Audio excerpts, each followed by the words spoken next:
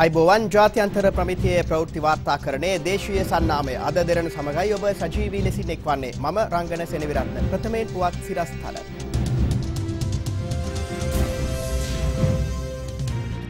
වකුගඩු ජාවාරම පිළිබඳ සොයන්න හයිදරාබාද් පොලිසිය මෙරටට. අධිවේගී මාර්ගවල අනතුරු ගැන පොලිසියෙන් වාර්තාවක්. රිටිගල පුරාවිද්‍යා නිලධාරියගේ වැඩ තහනම්.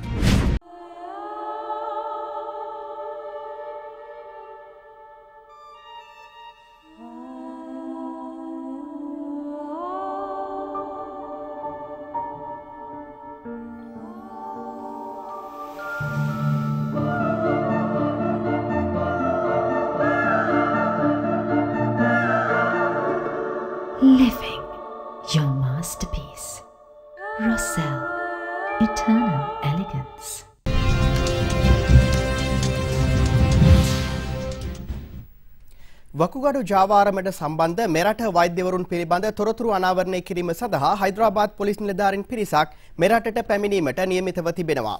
සයිබර් අපරාධ පිළිබඳ හයිදරාබාද් පොලිසිය නිලධාරීන් පිරිසක් මෙරටට පැමිණීමට නියමිත බවයි ඉන්දිය මාධ්‍ය වාර්තා කළේ.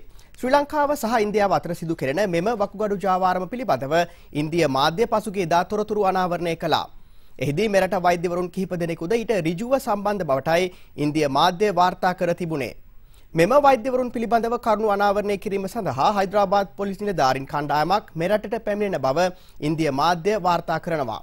මේ අතර වකුගඩු ජාවාරමේ ඒජන්තවරුන් ලෙස කටයුතු කරන පුද්ගලින්ද ඔවුන්ගේ වකුගඩු මුදලට විකුණා ඇති බවයි ඉන්දිය මාධ්‍ය සඳහන් කර ඇත්තේ. ඔවුන් ලක්ෂ පහක වැනි මුදලකට වකුගඩු විකිණීම් කටයුතු සිදු කරන බවද ඉන්දිය මාධ්‍ය වාර්තා කර තිබෙනවා. මේ අතර මෙම වකුගඩු ජාවාරම පිළිබඳව මෙරට සෞඛ්‍ය අංශද පරීක්ෂණයක් සිදු කළ අතර එහි වාර්තාව මේ වන විට සෞඛ්‍ය අමාත්‍යවරයා වෙත බාර දී තිබෙනවා.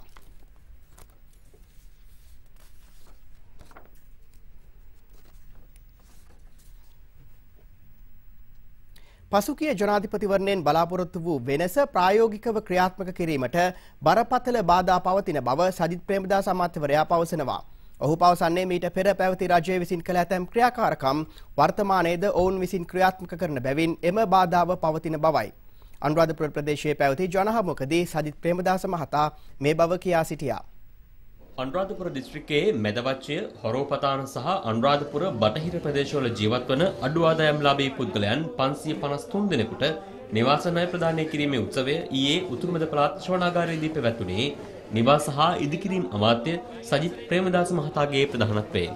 2009 මැයි 18 වෙනිදා ත්‍රස්තවාදය විනාශ කරපු එක ඇත්ත. ඒකේ ගෞරවය හිමි වෙනවා. ඒක නැහැ කියන්නේ නැහැ. නමුත් ත්‍රස්තවාදය ඉවර කරලා අපි සාමය ජයග්‍රහණය කරේ. ත්‍රස්තවාදය ඉවර කරලා තවත් ත්‍රස්තවාදයකට පහුගිය රජයේ බීජ ව්‍යාප්ත කරා. තවත් ත්‍රස්තවාදයකට අවශ්‍ය පදනම සකස් කරා. නමුත් බය වෙන්න එපා මිත්‍රවරුනි. එහෙම භයංකාර තත්ත්වයක් අද දවසේ නෑ. ඒ මන්ද අපේ රජය රටේ ස්වෛරීත්වය මොනම ආකාරයකින් නොබෙදුණු ඒකීය ස්වෛරී ශ්‍රී ලංකාවක් තුළ අභිමාණයෙන් රටේ පුරවැසියන්ට ජීවත් විය හැකි වාතාවරණ උදා කරලා තිබෙනවා. මම දැක්කා මහින්ද මහත්තයාගේ ආණ්ඩුවේ හිටපු සමහර මැතිඇමතුරු මේ දවස්වල තප්පුලනවා. එක්කෙනෙක් තමයි මේ යහපාලන ආණ්ඩුවට ඇවිල්ලා ඉන්න ඩිලාන් පෙරේරා ඇමතිතුමා. එතුමා කියනවා ඊයේ බදුල්ලේ රැස්වීමක චන්ද්‍රිකා කුමාරතුංග කියන්නේ එක්ස්පයර් වෙච්ච නූඩල්ස් පැකට් එකක් වගේ කියලා. හැබැයි ඔය චන්ද්‍රිකා කුමාරතුංග මහත්මියම තමයි ඒ කාලේ කිව්වේ ඩිලාන්ලා මේ මේ නූතන විහාර මහදේවි කියලා. එක්ස්පයර් වෙච්ච නූඩල්ස් පැකට් එකේ කොහොමද රහ ගම්පහ දිස්ත්‍රික්කයේ මේ සැරේ සුද්ධ කරලම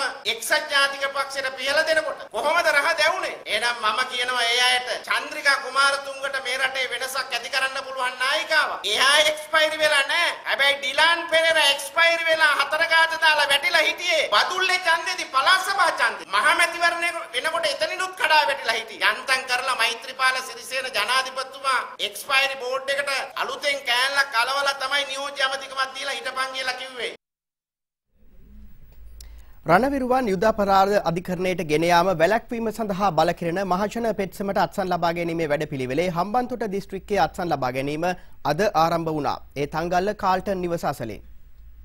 රණවිරුවන් සුරැකීමේ ජාතික ව්‍යාපාරය සංවිධානය කළ රණවිරුවන් සුරැකීමේ අත්සන් දසලක්ෂයක් ලබා ගැනීමේ මහජන පෙත්සමට අත්සන් තැබීම පසුගියදා ආරම්භ වූයේ හිටපු ජනාධිපති මහින්ද රාජපක්ෂ මහතාගේ ප්‍රධානත්වයෙන්.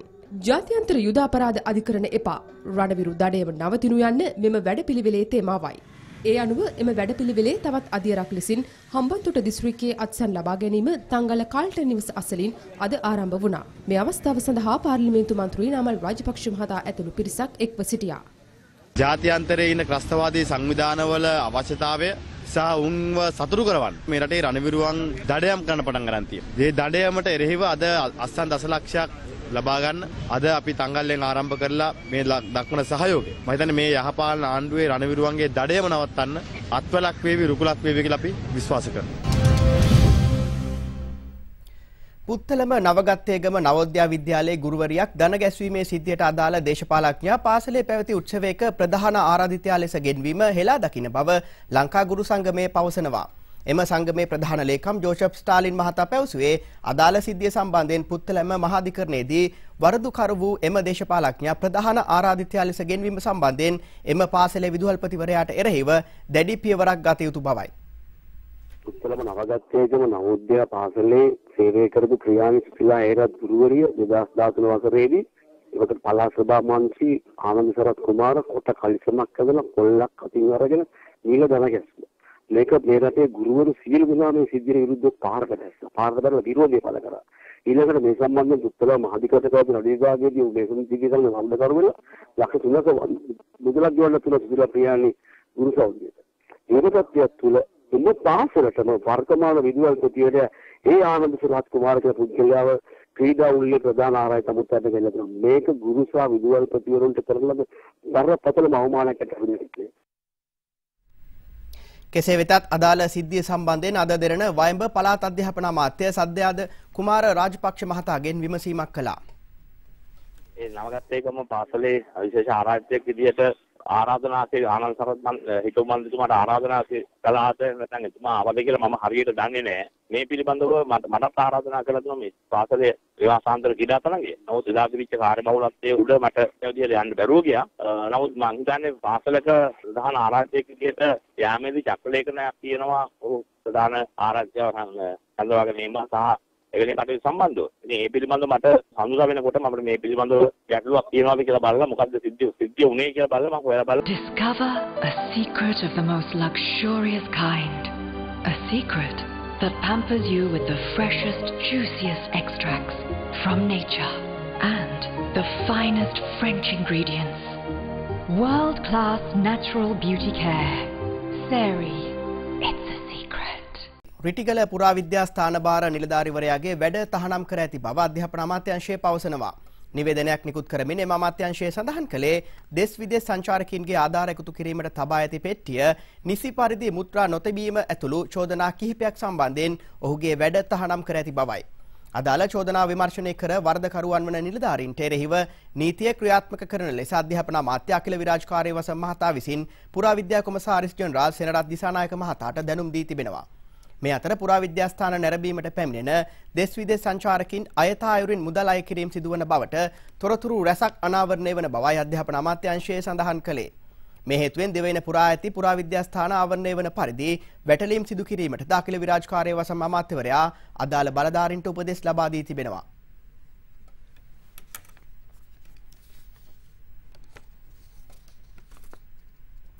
දෙදහස් දාසය රාජ්‍ය වෙසක් උත්සවය වීරකැටිය නයිගල රජමහා විහාරස්ථානයේදී පැවැත්වීමට නියමිත බව බුද්ධ ශාසන අමාත්‍යංශය පවසනවා. ඊට අදාළ මූලික කටයුතු මේ වන විට සූදානම් කරමින් පවතින බවයි එම අමාත්‍යංශ ලේකම් වසන්ත ඒකනායක මහතා පවසන්නේ. දෙදහස් දාසයේ රාජ්‍ය වෙසක් උත්සවය වීරකැටිය ආමන්ත්‍ර දිස්ත්‍රික්කයේ වීරකැටිය නයිගල රජමහා විහාරයේදී පැවැත්වීමට රජයේ තීරණය කර තිබෙනවා. දැන් ඒ සම්බන්ධයෙන් මූලික සාකච්ඡා පවත්වලා ඒ රාජ්‍ය වෙසක් උත්සවයත් ඒ වගේම වෙසක් සතිය තුළ සිදු කරන වැඩකටයුතු සම්බන්ධව දැන්ට අපි කටයුතු සමුදානය කරමින් පවතිනවා. විශේෂයෙන්ම රාජ්‍ය වෙසක් දිනේ දෙන්න මේ මේ මාසයේ 21 දින සීල සමාදාන වර්ගතහන් ආදී සමග විශේෂ සටහන් රාශියක් ඒ විහාරස්ථානයත් ඒ දිස්ත්‍රික්කයේ විහාරස්ථාන මුල් කරගෙන පැවැත්වෙනවා. ඊට දෙහිදෙන් දින රාජ්‍ය වෙසක් උත්සවය අතික ජාමත්තුමාගේ ප්‍රධානත්වයෙන් එම ව්‍යවස්ථානයේදී පැවැත්වීමට කටයුතු සූදානම් කරනවා. දෙදහස් පහළව වර්ෂයේ දක්ෂිණ අධිවේගී මාර්ගයේ සහ කටුනායක අධිවේගී මාර්ගයේ සිදු වූ අනතුරු සහ ඒ ආශ්‍රිත නඩු පැවරීම් වාර්තාවක් ශ්‍රී ලංකා පොලිසිය විසින් නිකුත් කර තිබෙනවා. දක්ෂිණ අධිවේගී මාර්ගයේ පමණක් මාරක රියනතුරු තුනක් සිදුවී ඇති බව සඳහන්. දක්ෂිණ අධිවේගී මාර්ගයේ සිදු වූ අනතුරින් පිරිමි පුද්ගලයෙකු හා කාන්තාවන් දෙදෙනෙකු මියගොස් ඇති අතර එක් අයෙකුට බරපතල තුවාල සිදුවී ඇති බව සඳහන්. මේ අතර දක්ෂිණ අධිවේගී මාර්ගයේ සිදු රිය අනතුරු වලින් 55 දෙනෙකුට සුළු තුවාල සිදු වී ඇති අතර කටුනායක අධිවේගී මාර්ගයේ සිදු වූ අනතුරු වලින් සුළු තුවාලකරුවන් හතක් පමණ වාර්තා වී තිබෙනවා. එමෙන්ම දක්ෂිණ අධිවේගී මාර්ගයේ ආශ්‍රිතව අධික වේගෙන් රිය පැදවීම හා අනෙකුත් වැරදිවලට අදාළව නඩු 32263ක්ද කටුනායක අධිවේගී මාර්ගයේ එය 18423ක් බවයි පොලිසිය සඳහන් කළේ. දිවයිනේ ප්‍රදේශ කිහිපයකදී සිදු වූ රියානතුරු වලින් පුද්ගලයන් සිව් දෙනෙකු මිය ගොස් තවත් පුද්ගලයන් හත් දෙනෙකු තුවාල ලබා තිබෙනවා. යක්කලමුල්ල අකුරැස්ස ප්‍රධාන මාර්ගයේ වදුරම්මුල්ල ප්‍රදේශයේදී බස් රථයක් සහ යතුරු පැදියක් එකිනෙක ගැටීමෙන් සිදු අනතුරකින් පුද්ගලයන් දෙදෙනෙකු මිය ගොස් තිබෙනවා.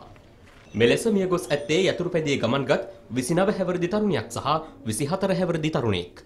ඔවුන් එකම පවුලේ සමාජිකයන් බවයි වාර්තා වන්නේ. අද දෙරණ වාර්තාකරු සඳහන් කළේ මෙලෙස මිය ගොස් ඇත්තේ විශ්‍රාමලත් ප්‍රධාන පොලිස් පරීක්ෂකවරයෙකුගේ දරුවන් දෙදෙනෙකු බවයි.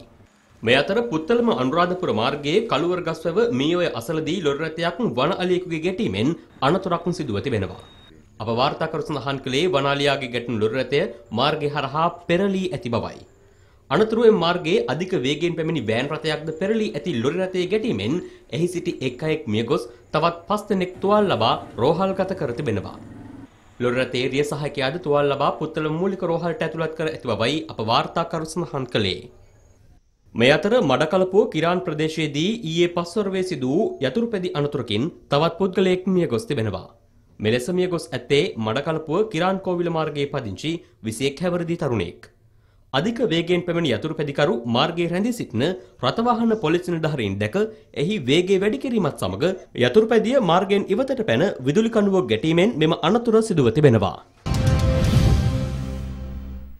දැන් තවත් පුවත් කිහිපයක් සමගින් සිව් දෙස විශේෂාංගය.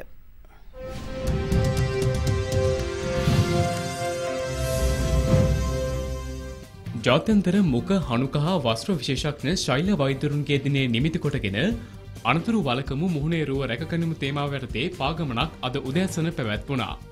ජාත්‍යන්තර තලයේදී මුඛ හනුක හා වස්ත්‍ර විශේෂඥ ශෛල වෛද්‍යවරුන් විසින් සෞඛ්‍ය සේවාව තුළ සිදුකරන ලබන කාර්යභාරය හා පුද්ගල ජීවිත සුරකීම සඳහා ජනතාව දැනුවත් කිරීම මෙහි අරමුණයි. කොළඹ සිට තලවා කළේ වටකොට දක්වා කුලි පදනම් මත තිරෝධ රථයකින් පැමිණ වටකොට ප්‍රදේශයේදී තිරෝධ රථයේ රියදුරාට තුවාල සිදු කර පැනගේ මංකොල්ලකරුවන් තිදෙනෙකු තලව කළේ පොලිසිය මගින් අත්තරංගුවටගෙන තිබෙනවා. පැහැරගෙන ගිය තිරෝධ රථය වටකොට ප්‍රදේශයේ සංගවාතිවේදී සොයා ගැනීමට හැකිවී ඇති අතර සැකකරුවන් අද නුවරඑළිය මහේස්ත්‍රාත් අධිකරණය වෙත ඉදිරිපත් කිරීමට නියමිතයි. විකිනීම සඳහා ගංජාතොගයක් කුඩා පැකත් තුළ අසුරමින් සිටි පුද්ගලයෙකු අනුරාධපුර විජයපුර ප්‍රදේශයේ පිහිටි ඔහුගේ නිවසක් තුළදී අනුරාධපුර පොලිසිය විසින් අත්අඩංගුවට ගෙන තිබෙනවා. අත්අඩංගුවටගත් හදලිස් දෙවරදි සැක්කරු කාලයක් පුරාවට මෙම ජාවාරම සිදුකරගෙන ගොස් ඇති බව පොලිස් පරීක්ෂණවලදී අනාවරණය වී තිබෙන අතර අද ඔහු අනුරාධපුර මහස්ත්‍රාත්වරයා හමුවට ඉදිරිපත් කිරීමට නියමිතයි.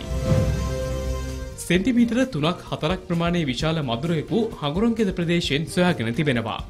දිවා රාත්‍රී කාලයේදී මේ මදුරුගහනය දැන් වැඩිවී ඇති අතර සෞඛ්‍යංශ පවසන්නේ ගවයින් වෙනි සතුන්ට බරවාරෝග ප්‍රවාහකයකු ලෙස මදුරුවන් දායක වන බවයි. කැලනිය දළුගම පිහිටි ශ්‍රවණුණු ළමයින්ගේ මධ්‍යස්ථානය විසින් ඊයසිය තිස්තුන් වන සංවත්සරය සමරනු ලැබවා.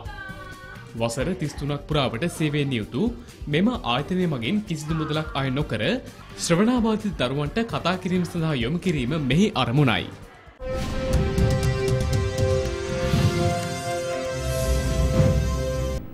දැන් ක්‍රීඩා පුවතක් ශ්‍රී ලංකාව සමග පැවති දෙවන 20 20 ක්‍රිකට් තරගයෙන් ලකුණු 69ක ජයක් හිමි කර ගන්නට ඉන්දිය කණ්ඩායම සමත් වුණා. තරගය ඊයේ ඉන්දියාවේ රංචහිදී පැවැත්වුණා. තරගයේ කාසියේ වාසිය දිනු ශ්‍රී ලංකා කණ්ඩායම ප්‍රථමයෙන් පන්දුරු පහර දීමේ වාරය ඉන්දිය කණ්ඩායමට ලබා දුන්නා. over the ground and into the stands. ඒ අනුව පන්දුවාර 20 අවසානයේ ඉන්දිය කණ්ඩායම කඩලු 6ක් ලැබී ලකුණු 196ක් රැස් කළා. ශික දවන් ලකුණු 51ක් ලබා ගත්තා. His maiden T20 international half century. Rohit Sharma ලකුණු 43ක් ලබාගත් අතර සුරේෂ් රයිනා ලකුණු 30ක් ලබා පන්දු ඇවීමේදී තිසර පෙරේරා කඩුළු ත්‍රිත්වයක් ලබා ගැනීමට සමත් වුණා.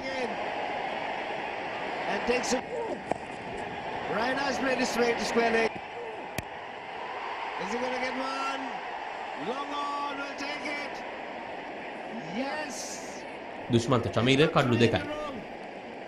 ලකුණු එකසිය අනුහතක ජයග්‍රහය ඉලක්කයක් හබාගිය ශ්‍රී ලංකා කණ්ඩායමට නියමිත පන්දුවාර විස් අවසානයේදී කඩලු නවයක් දැබී ලබාගත හැකි වූයේ ලකුණු එකසිය විසිහතක් පමණයි. නායක දිනෙශ් චන්දිමාල් ලකුණු තිස් එකක් ලබාගත් අතර චාමර කපුගෙදර ලකුණු තිස් Can they do දෙක. something dramatic? He's gone for the big one. Yes, he can. Milinda Siriwardena නොදවී ලකුණු විසි අටක් ලබා ගත්තා.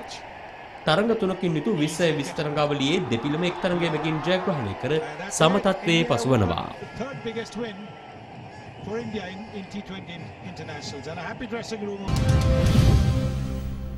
ඒ සමගින් අද දෙරණ මධ්‍යහන පුවත් විකාශය නිමාවට පත්වෙනවා සුබ දවසක්.